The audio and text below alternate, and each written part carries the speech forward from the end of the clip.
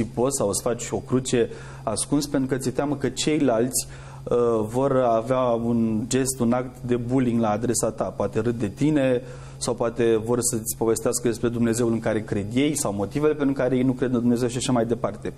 Și sunt multe gesturi de, de bullying uh, religios societățile occidentale sunt din ce în ce mai, frecvent, mai uh, conștiente de lucrul ăsta și au introdus, spre exemplu, în ultimii 5, 7, 10 ani, uh, pentru marile companii, cele care își permit de altfel să facă lucrul ăsta, cursuri de diversity.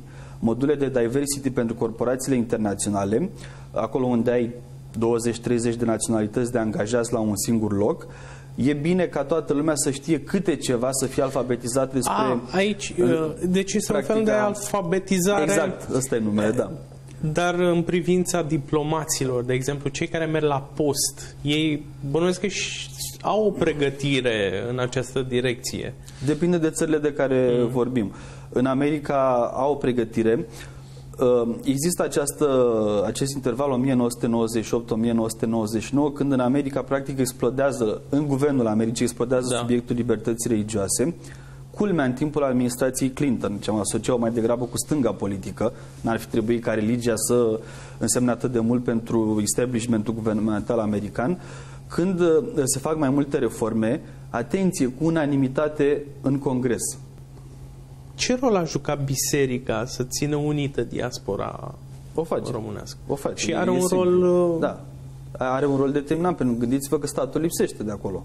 Statul este reprezentat în diaspora prin două, trei consulate și o ambasadă, care da. are resurse puține de cele da. mai multe ori, oameni foarte puțini, strâng, uh, îi strâng pe român la ceva evenimente și cam astea sunt politicile statului român în diaspora.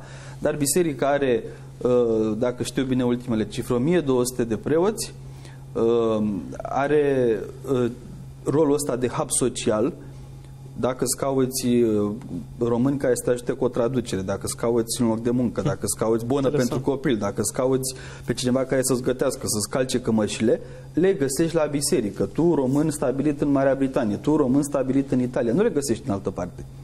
Acolo te întâlnești și acolo vorbesc cu oamenii limba ta. Și eu am văzut asta cu ochii mei și felul în care funcționează. Uh, din păcate, statul român apreciază prea puțin eforturile pe care eforturile, spunem că o facem într-un mod natural, dar gesturile pe care le face biserica în, în diaspora, ea este cea care ține, uh, îi ține pe român la oaltă. Bună! Sunt Alexandru Răducanu, fondatorul Canal 33. Dacă vă place Canal 33, nu uitați să ne lăsați un like.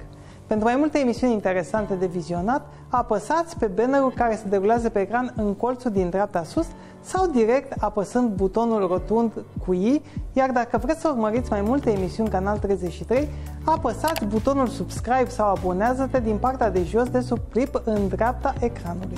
Și nu uitați să ne lăsați un coment în secțiunea de comentarii de mai jos. Mulțumim!